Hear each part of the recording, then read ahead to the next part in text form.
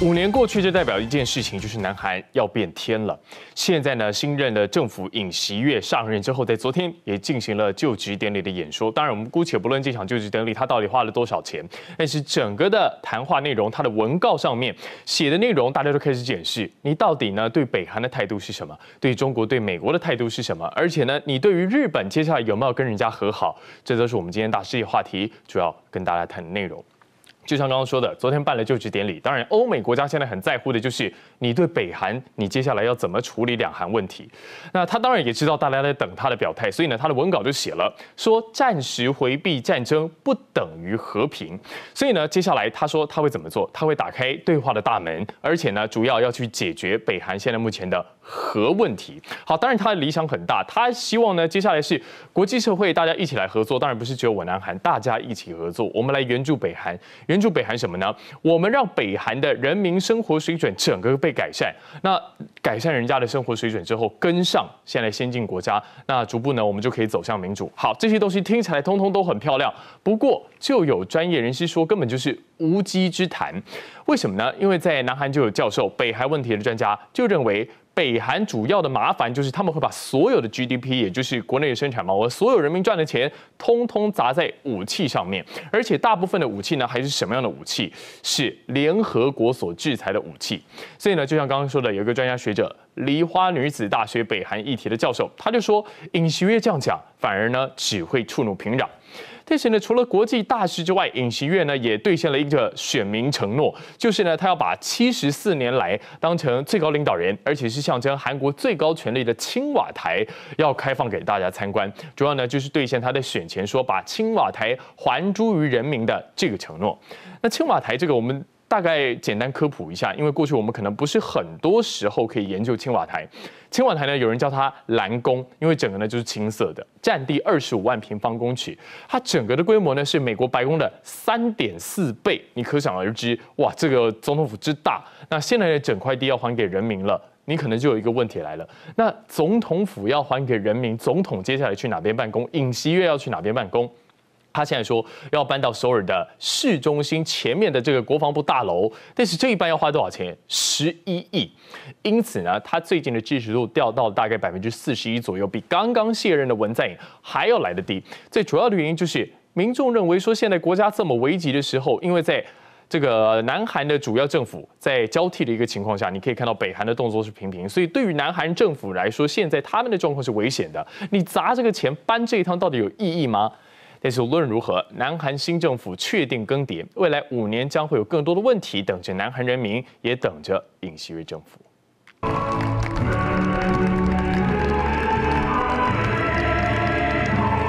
和文在寅夫妇握手致意，南韩新任总统尹锡悦十号正式宣誓就职。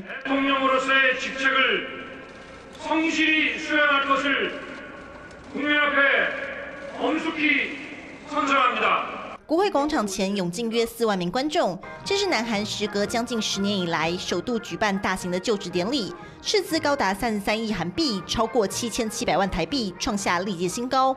但官方表示，这是因为物价上涨。特别的是，除了文在寅夫妇以外，被尹锡悦亲手送进监狱的前南韩总统朴槿惠也亲自出席。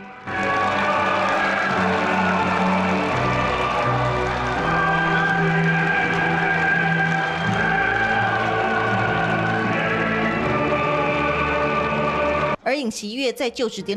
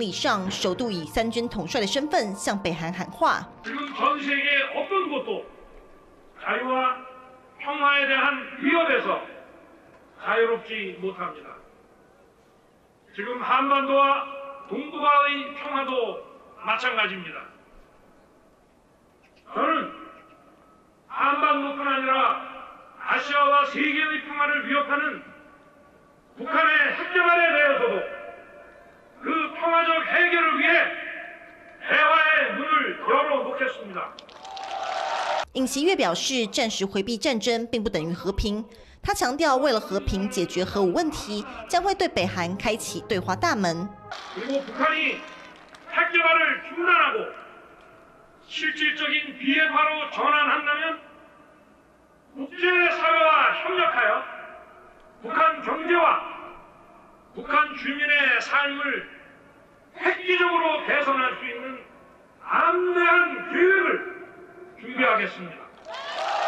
尹锡悦也在演说中表示，当前国际面临疫情危机、贸易秩序和国际供应链重组、气候变迁、粮食、能源危机等问题，不是单一国家或少数国家合作就能解决。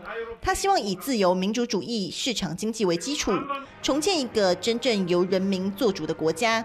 因此，尹锡悦上任后头一件事就是开放过去戒备森严的青瓦台。尹锡悦宣誓就职的同时，青瓦台正式向一般民众开放，象征七十四年总统府历史的七十四名国民代表首先进入，大批预约成功的民众也接连涌入。开放第一天，共计二点六万人到此一游。呃，윤석열대통령께서 이렇게여기를우리국민들한테돌려주셔서더욱감사드리고어우리들은또이렇게74년동안막혀있던곳을우리가이렇게와서 구경할 수 있다는 거 너무감개무량하고참뭐라고표현할수없도록가가슴이떨립니다青瓦台距离市中心有一定距离，而且笼罩着威权色彩。 过去政府都有考虑过迁址，但因警备费用等问题不了了之。而尹锡悦三月当选总统后，火速推动选址搬迁作业，虽然过程中引发一些批评，但最后成功在就职前将办公室移到市中心的国防部大楼。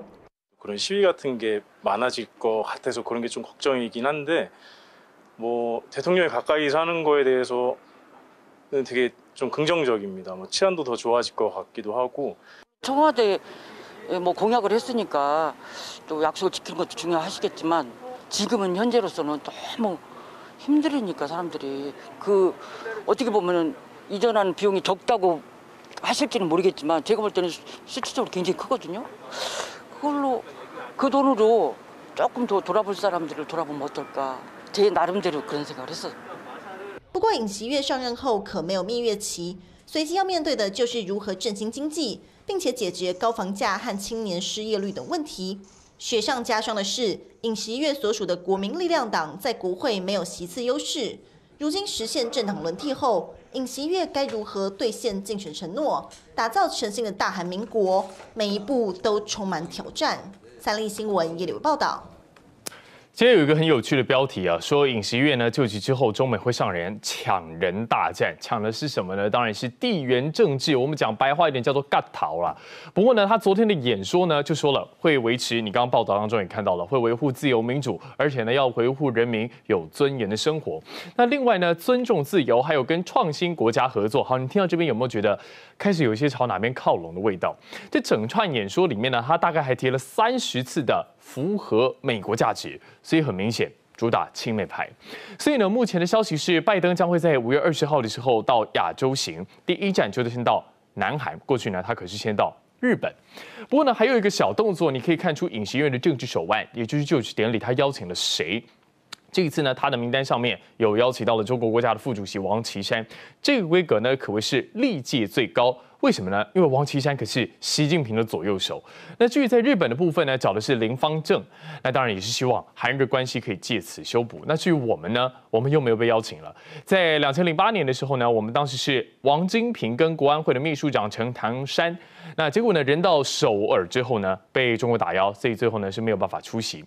二零一三年朴槿惠就职的时候，王金平派团过去。也是二零一七年的时候，南韩是因为朴槿惠被弹劾的关系，那当时是因为整个前总统他因为贪污案被弹劾，所以文在寅后来处理的很低调，所以呢，届时我们是连人都没有派。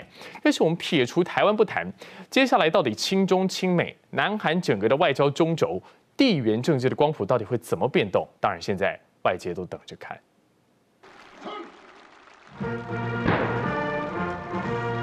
南韩新任总统尹锡悦十号举行就职典礼，外界关注焦点放在远道而来的外国宾客。美国和中国都相当看重，派出比以往层级更高的官员出席。韩联社报道认为，这个场子成为国家外交战的舞台。美国派出第二先生任德龙出席尹锡悦的就职典礼。I understand this will be the earliest meeting between a new ROK president.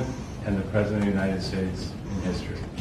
President Biden has asked that I personally deliver this letter to you, expressing his congratulations and desire to work with you over the next five years.